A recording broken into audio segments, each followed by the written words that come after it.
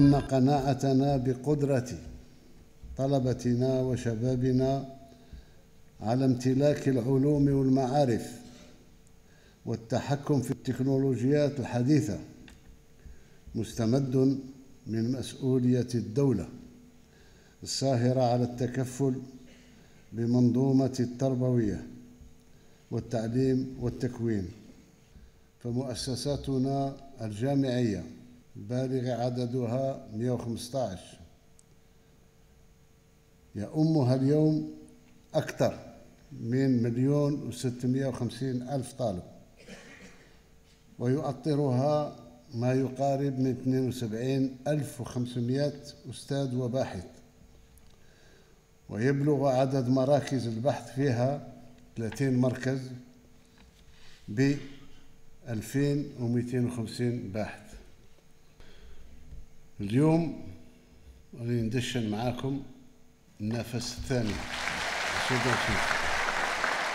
أنتم يقع على عاتقكم وعلى أكتافكم أن ترقوا بالجزائر إلى العولمة إلى الدول الراقية علميا والدول التي ترتكز عليها البشرية في الأبحاث العلمية وحل مشاكل الطبية والاقتصادية والفلاحية وكلها للبشريه كلها مش إلا الجزائر.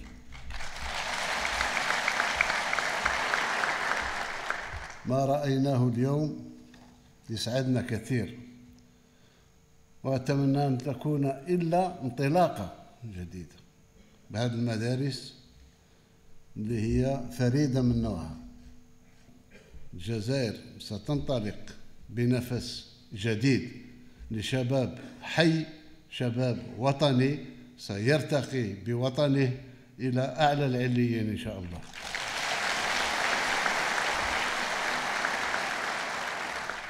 أننا في خدمتكم مش أنتم في خدمتكم.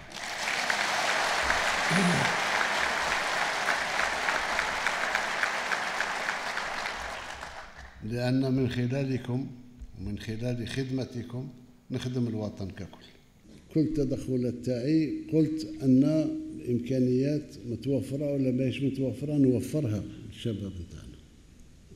المهم أن المساعدة تكون مدروسة وتكون كما يقولوا شيفري حساب باين هذا. البلاد عندها الإمكانيات باش تقوم بأبنائها. ربما البعض اليوم وصلوا لدرجة تاع إنتاج حقيقي وداك الشيء يفوتوا البنوك ممكن.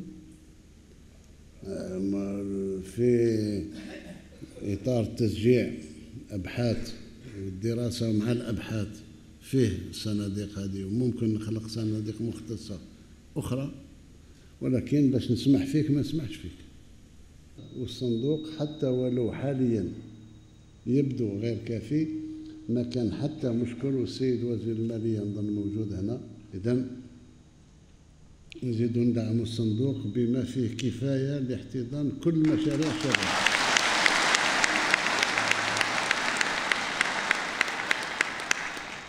نتمنى باش الوزارة الوصية نتاعكم وزارة التعليم العالي ووزاره المؤسسات الناشئة ياخذوا هذا الكلام بعين الاعتبار ويقوموا. الشيء اللي تحتاجوه. الشيء اللي طلبتيه ماهوش مستحيل أنا نطلب من السيد وزير التعليم العالي وهو مع كل المؤسسات اللي تابعين التعليم باش يعاودوا يدرسوا هذه المحفزات بالنسبة لبعض الفروع. مثل ما رفعنا المرتبات تاع الباحثين نرفع علاوات والمنح نتاع الطلبة المختصين في شيء اللي عندنا فيه عجز. يعني ماهوش مستحيل درسوها انتوما وشوفوا. شبابنا واعي يشوفوا في آفاق اللي ما كنا نشوفوها إحنا وما كانوش يشوفوها والدينا. أنا ما نسمحش في جزائري واحد مهما كان. الطلب الوحيد اللي طالبينه من الجزائريين في الداخل ولا في المهجر هو أنهم يحبوا بلادهم. ما تكرهش بلادك اكره الشخص اللي ما راش عاجبك داك شغلك. ما تكرهش بلادك. هذا ما كان. اذا خلاص القول أن الجزائر ماهيش جنة ولكن ابدا ما هي جهنم. ابدا. بداية سيد الرئيس لقربكم منا ولمكانتكم المميزة في قلوبنا. هل تسمح لي بأن أناديك باسم عمي تبون؟ تفضل.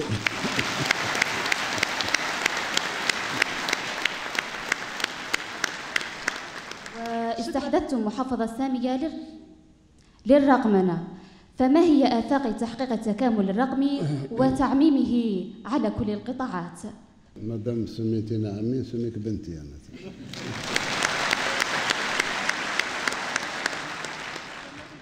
الله الله يبارك فيك. إحنا اليوم ماشيين إن شاء الله في الطريق السليم وبيكم انتوما بالشيء اللي وصلتوا ليه. من إنتاج فكري نتاع les start-up أعتقد أن مستقبل تاع البلاد.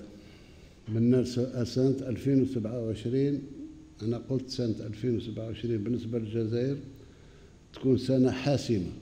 نكونوا كملنا من رقمنا إن شاء الله. نكونوا طورنا الصناعة نتاعنا وطورنا الاقتصاد نتاعنا وطورنا إلى آخره. وحتى انتوما بالنسبة للستارت أب أغلبها تكون دخلت في الإنتاج. المستثمرين اللي هما 6000 ولا 7000 طالب استثمار يكونوا كذلك دخلوا في الإنتاج نفوت إلى جزائر أخرى. إن شاء الله.